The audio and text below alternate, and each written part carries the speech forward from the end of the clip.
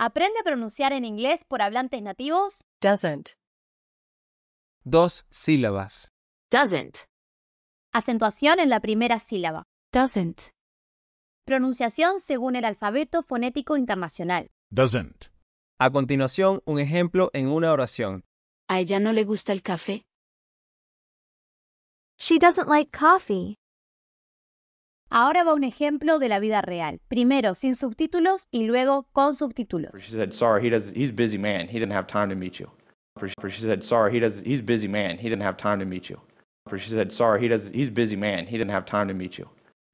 Si te ha gustado este video, imagínate todo lo que aprenderás dentro de esta guía de Aprende Inglés en Español Gramática Básica, la cual está llena de lecciones para que puedas aprender a hablar y pronunciar el inglés correctamente.